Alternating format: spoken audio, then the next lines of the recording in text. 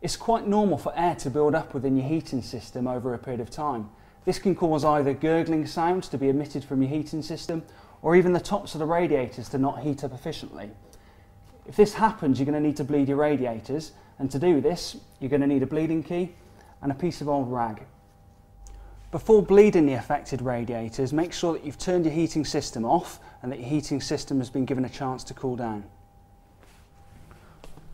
Okay, so what I'm going to do, I'm going to put my piece of rag or tissue beneath the bleed valve. I'm going to put my key in and I'm going to twist the key until I can hear a hissing sound, which is the air being released from the radiator. And I'm going to keep that key open until I get water running out.